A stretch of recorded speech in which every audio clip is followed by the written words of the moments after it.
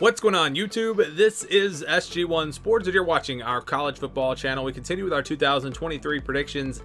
The Texas Tech Red Raiders are up next. Let's take a look at some of the other predictions for them. You see the FPI has them at 7.5 and 4.6. Athlon has them at 7 and 5 and the over-under is at seven and a half. So this team seems to be right there at that seven and five number, or potentially eight and five, or eight and four, I should say. Um, it's a team that I think has a chance to be pretty good. I mean, you look at the offense, they've got Tyler Shough back at quarterback, had some injury problems. If he can stay healthy, there's plenty of weapons around him. Uh, they've got some good receivers and tight ends. Their offensive line is really strong.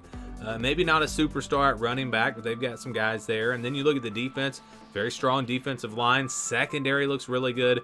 One area of concern, maybe one weakness for this team would be the linebacker position. Uh, if they can get some good production out of that position, I think this team could potentially make a run at the Big 12 championship. I, I mean, I think they really have the pieces to do that. Um, so, yeah, I think they're going to be good. I think this is a good team. We take a look at the schedule here. And it's a tough schedule because they play Oregon in the non-conference. They don't get to play Cincinnati or Houston, two of the teams that I think are going to be maybe uh, towards the bottom. Actually, they do play Houston, but they don't play Cincinnati, who I think might be the worst team in the Big 12.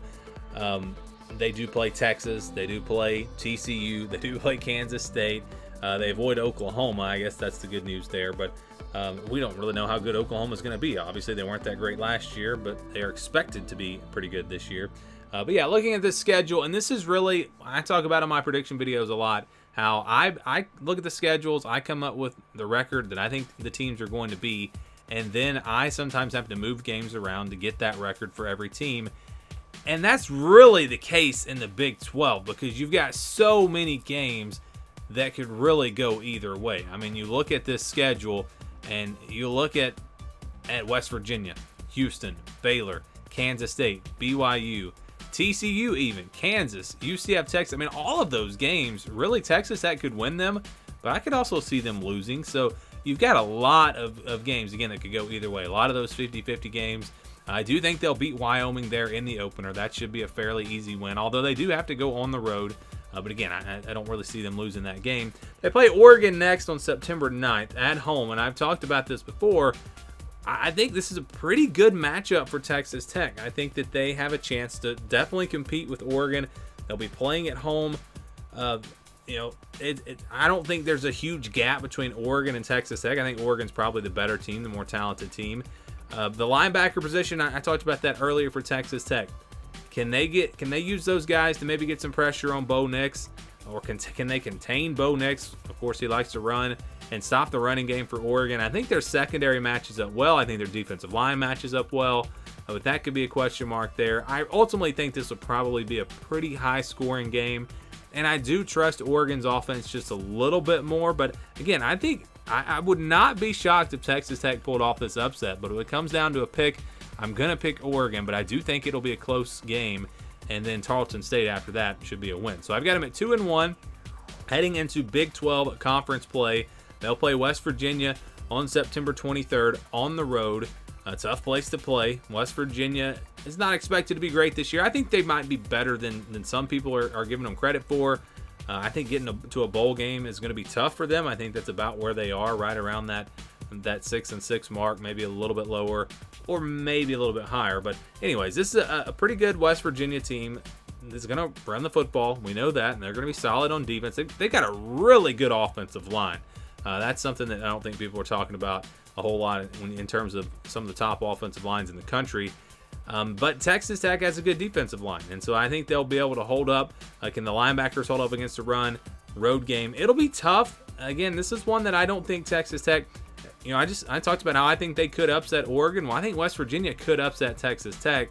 Uh, I'm going to say they beat West Virginia, but you know those could even be flipped. Maybe they beat Oregon and lose to West Virginia, and that's what I talked about earlier. Uh, there are just so many games that could go either way. They play Houston next on September 30th. Interesting with Donovan Smith, now the quarterback at Houston. Of course, he played at Texas Tech. Uh, that's an interesting dynamic there. Uh, I think Texas Tech overall is the better team, the more talented team. Uh, plus, they're playing at home, so I think they'll win this one by a couple of scores, but it won't be a blowout. I think Houston is going to be good enough, especially offensively, to make this game interesting. but Texas Tech in the end does win. Next, they get Baylor on October the 7th on the road.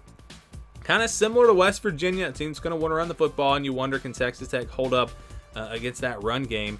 Um, the difference here is I think Baylor just overall is a, a little bit better team than West Virginia. So I, I don't think that they're going to beat both West Virginia and Baylor on the road.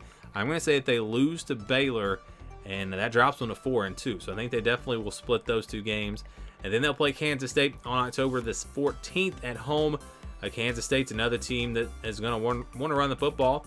Uh, they don't have a ton of weapons at wide receiver, but they've got Will Howard at quarterback, and you know they can throw it too as well. So this is not going to be a one-dimensional Kansas State team, but um, it's still a matchup that I think gives Texas Tech a really good shot. I think overall talent for Texas Tech, I think they are the more talented team here.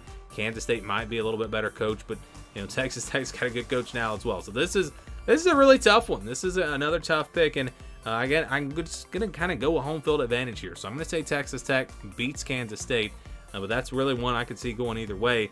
Then they go on the road on October 21st to play BYU.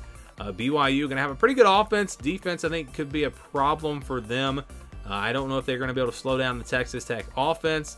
And so I do think Texas Tech's able to get go on the road and get a win here, but in a close one. I do have them beating BYU and going six and two. And like I said, I think every game on this on this the whole season, every game's going to be close except for maybe Wyoming and Tarleton State. Uh, just that's how the schedule plays out.